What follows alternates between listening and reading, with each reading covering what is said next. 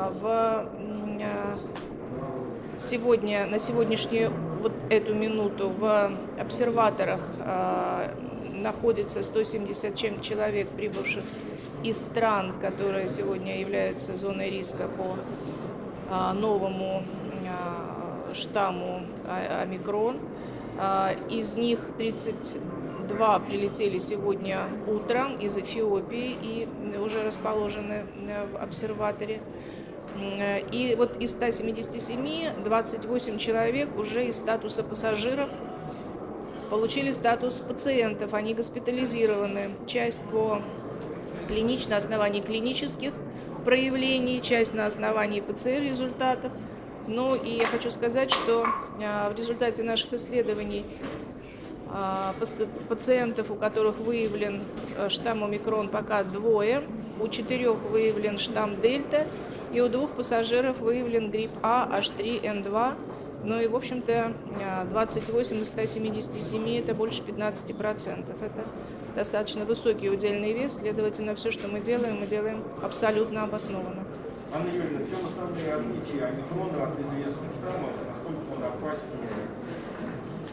А, Мы сегодня четко понимаем, как он отличается в своей структуре, потому что результаты секвенсов есть а, в международных базах данных, есть уже и в российской базе данных. И а, исходя из этого, ученые разных стран делают одно и то же пред- предположение, что он, а, скорее всего, более контагиозен, то есть более заразен, а, и, возможно, имеет большим инфекционным потенциалом. Других данных за такой короткий период времени наблюдения а, в мире просто достоверных нет и быть не может. Поэтому ученые всех стран очень старательно исследуют а, сам вирус, исследуют иммунный ответ у тех, кто а, этим вирусом уже поражен, исследуют эпидемиологические характеристики, то бишь распространение там, где он распространяется. И я уверена, через короткое время мы сможем найти ответы на все эти вопросы. А во сколько Анна он заразен? Вопрос дополнения э, по поводу омикрона. Сейчас вот японские ученые как раз э, заявили о том, что омикрон в 4 раза заразнее, чем предыдущий штамм дельта. Означает ли это, что он будет менее опасен для человека? То есть он мутирует в сторону распространения, а не в сторону опасности? А, Мне очень хочется так думать тоже, но пока абсолютных достоверных данных, которые подтвердили бы любую из этих гипотез, у нас нет. А мы ориентируемся только на то, в чем абсолютно уверены. Коллеги, еще один вопрос. Анна. Юрьевна, вы обмолвились, что коронавирус примерно раз в полгода дает новые штаммы. Можно ли прогнозировать, будет ли у нас новый штамм в начале лета, в конце весны? И, в принципе, прогнозировать ситуацию с коронавирусом? Пока это не прогноз, пока это просто наблюдение.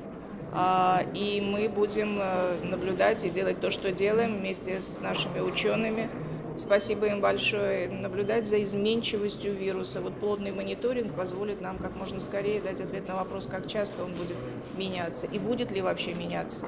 И что будет происходить Все-таки дальше. Спасибо всем. Значит, про- значит, я хочу сказать вам, что любой из вариантов штамма э, и любой штамм э, нового коронавируса сохраняет его свойства как штамма респираторного, то есть передающегося воздушно-капельным путем. Поэтому все меры, которыми на- нами отработаны, о которых знает каждый человек в Российской Федерации абсолютно точно, и, наверное, сегодня каждый человек на планете, это абсолютная гарантия того, что человек не заразится и не заболеет. Закрыть свои органы дыхания, носить маску, соблюдать социальную дистанцию, соответственно, содержать в чистоте все, что вокруг вас, и мыть руки, а сейчас еще и грибозный период. Все это защищает от любого варианта, а, любого респираторного а, вируса, и в том числе а, коронавируса. И хочу отметить, что вакцинный иммунитет также в той или иной мере, в большей или меньшей, мы скоро это узнаем, насколько больше или меньше это распространяется на омикрон, защищает от коронавируса а, с- SARS-CoV-2 как от возбудителя нового коронавирусного инфекционного заболевания. Поэтому соблюдение всех этих требований абсолютно точно, но только обязательное соблюдение во всех ситуациях избавит нас от новых потрясений. Спасибо. Спасибо.